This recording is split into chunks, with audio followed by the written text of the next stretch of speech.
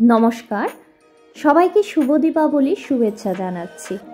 যদিও আপনারা এই ভিডিওটা তিন চার দিন পরে দেখছেন, কিন্তু এই ভিডিওটা কিন্তু দিওয়ালির দিনই শ্যুট করেছিলাম।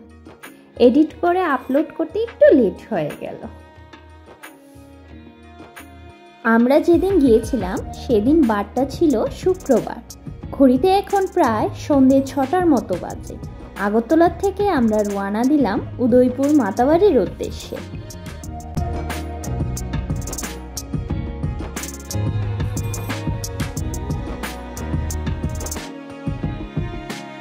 আমরা এসে পৌঁছে গেলাম রমেশ চমনিতে রমেশ চমনির থেকে কিন্তু আর গাড়ি কিংবা বাইক নিয়ে ঢোকার পারমিশন দেয় না, কারণ এখানে থাকে নো এন্ট্রি আর রমেশ স্কুলের মাঠে কিন্তু পার্কিংয়ের ব্যবস্থা করা হয়েছে। আর যাদের পাস রয়েছে, ওনারা কিন্তু গাড়ি কিংবা বাইক নিয়ে প্রবেশ করতে পারবে।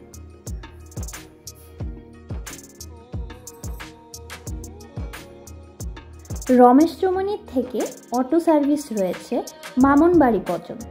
ভাড়া দশ টাকা করে নেয়। ছজন করে প্যাসেঞ্জার তুলে একটা অটো যেটা নাকি একটু ডিসঅ্যাপয়েন্ট লাগছে। অটোর পেছনে সিটে চারজন, আবার সামনে দুজন। বসতে ভীষণই অসুবিধা হয়।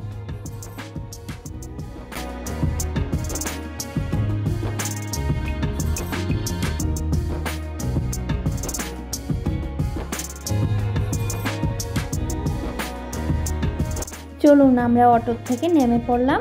এখন বামনবাড়ির থেকে আবার রিক্সা সার্ভিস রয়েছে একশো টাকা করে।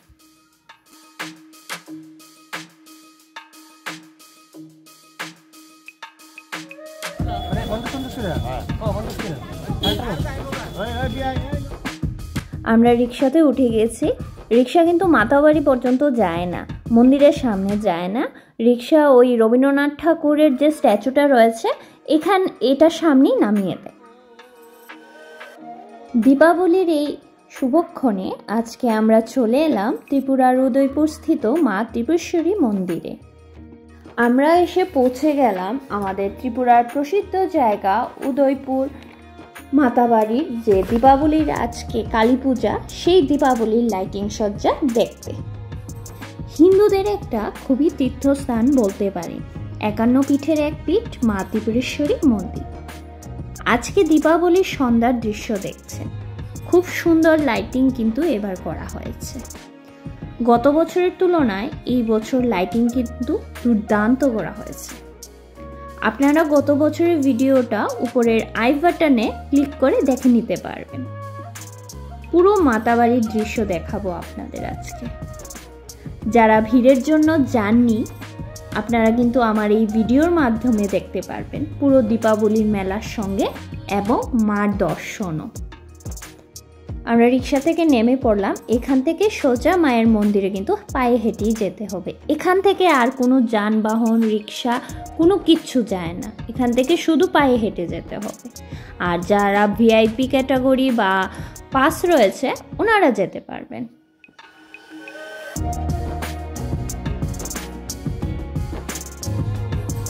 লক্ষ লক্ষ মানুষ কিন্তু এসে থাকেন এই দিনে দীপাবলির রাতে। উদয়পুর মাতাবাড়িতে লক্ষ লক্ষ মানুষের সমাগম হয়। দেশ বিদেশ থেকে বিভিন্ন প্রান্ত থেকে চলে আসেন এই দীপাবলির উৎসব দেখতে। আমাদের ত্রিপুরেশ্বরী মা খুব জাগ্রত এবং খুব খুব সুন্দর মা। রাস্তার দুধারে দোকানপাট বসেছে, অনেক বড় মেলা বসে এই দীপাবলির উৎসবে। এই উৎসব কিন্তু তিন দিন ধরে চলে। একত্রিশ অক্টোবর থেকে দুই নভেম্বর পর্যন্ত। প্রতি বছরই এই উৎসব পালন করা হয়। ত্রিপুরার সব থেকে বড় দীপাবলির উৎসব এই মা ত্রিপুরেশ্বরী মন্দিরে পালন করা হয়।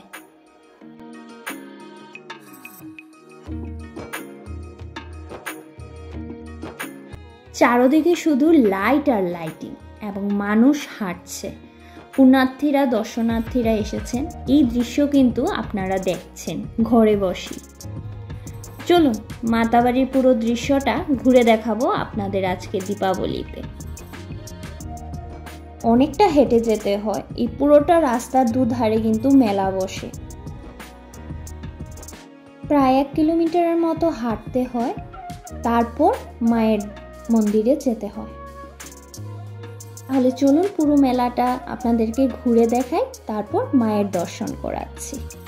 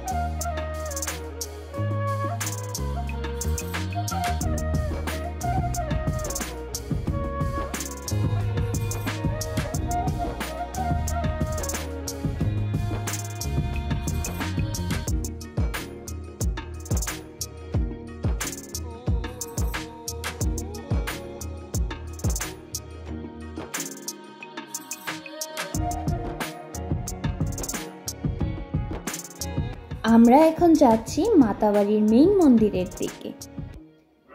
পুরো চত্বরটা খুব সুন্দর করে লাইট দিয়ে সাজানো হয়েছে। চলুন, এবার মাকে দর্শন করে আসি।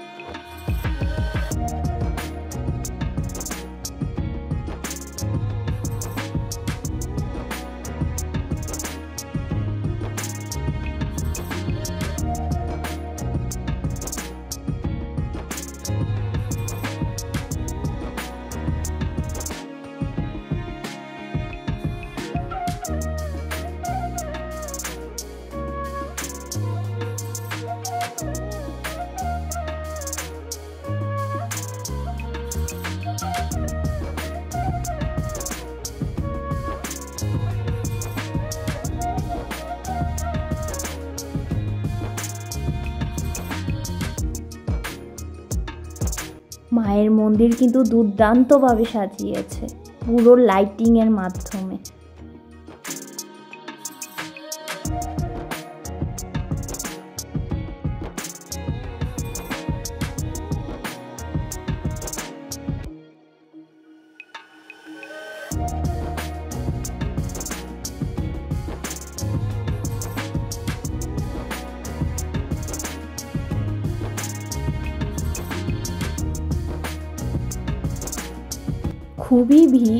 মাকে দর্শন করার জন্য এবং যারা পুজো দিচ্ছেন পূজার জন্য।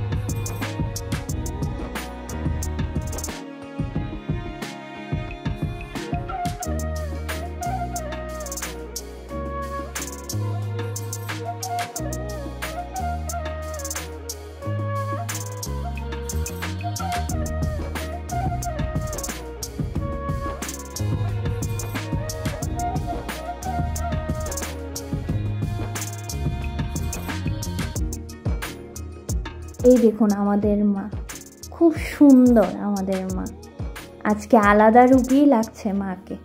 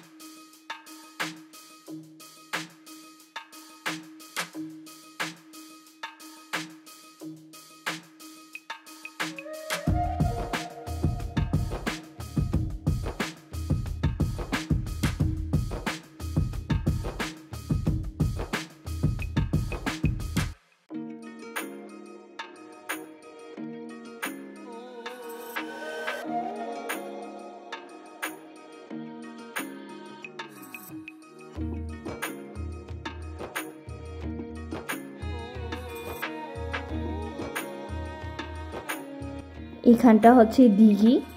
এখানে গঙ্গা আরতিও হয়। খুব সুন্দর, গঙ্গা আরতি বা কল্যাণ আরতিও বলতে পারেন। এটা কল্যাণ সাগর নামে পরিচিত এই দিঘিটা।